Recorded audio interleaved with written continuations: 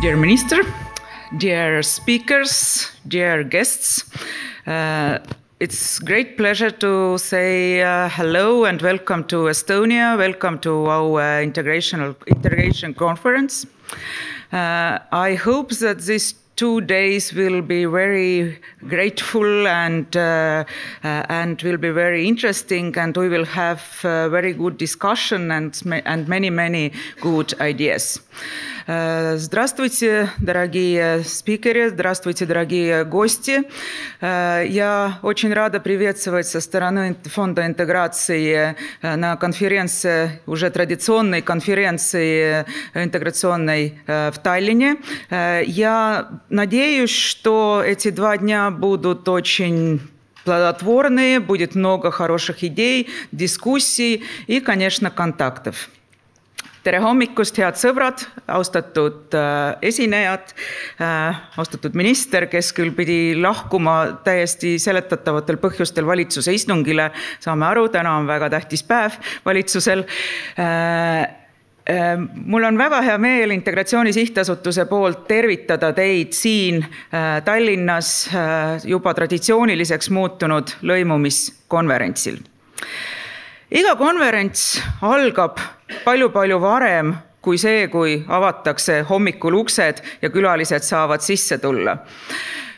meie konverents tegelikult sisuliselt algas see konverents konkreetne siis, kui me ütlesime eelmisel aastal teile aitäh tulemast, turvalist koduteed, ehk siis kui me nii-öelda sulgesime oma eelmise aasta integratsioonikonverentsi eelmise aasta integratsioonikonverentsi pealkiri oli Ühtsustunne mitmesrahvuselises kogukondades, kultuuri, meedia ja kodanikuühiskonna roll sellel aastal otsustasime tulla veel lähemale ehk siis kogukondadest koju.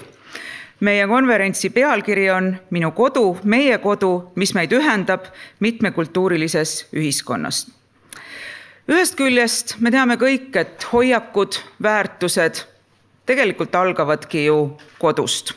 lapsed tulevad kodust ja kuna ka see konverents on väga paljuski keskendunud ka noorte teemale, siis just noores eas, lapseeas kujunevad tihti väärtused, mis võetakse kaasa edasisse ellu. teisalt on kodu mõiste tänapäeva ühiskonnas tegelikult päris mitmekesistunud ehk siis globaliseeruvas maailmas on paljude inimeste jaoks kodu see, kus on nende hambahari, see, kus on nende kohver ja see, kus on nende reisipilet parajasti.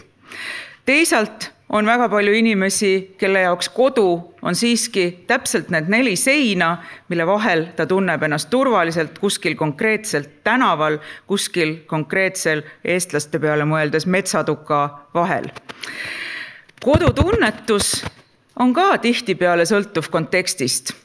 kui me seisame oma kodus selles konkreetses elutoas, siis moodustavad meie jaoks turvalise kodu need raamatud, need suveniirid, mis me oleme toonud erinevatelt reisidelt, need kingitused, mida meile sõbrad on kinkinud teisalt, kui me tuleme teiselt kontinendilt ja jõuame Frankfurdi lennujaama, siis on tunnetus, huh, kodus ehk siis kodu on väga lai mõiste, aga üks on kindel, ükskõik, mida me kodu all silmas ei pea, me tahame, et seal oleks turvaline, me tahame, et seal oleks hea nii füüsiliselt kui vaimselt.